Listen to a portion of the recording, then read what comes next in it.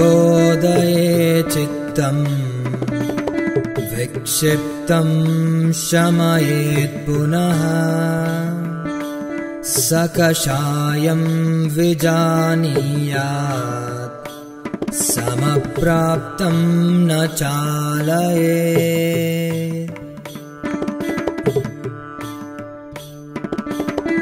लये सम्बोधये चित्तम् विक्षिप्तम् शमयेत् पुनः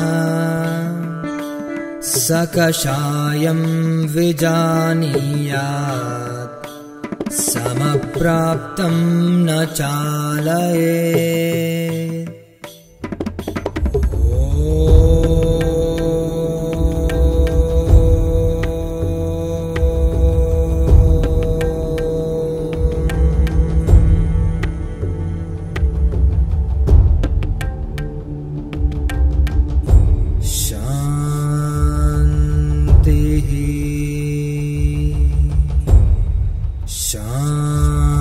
शान्तिः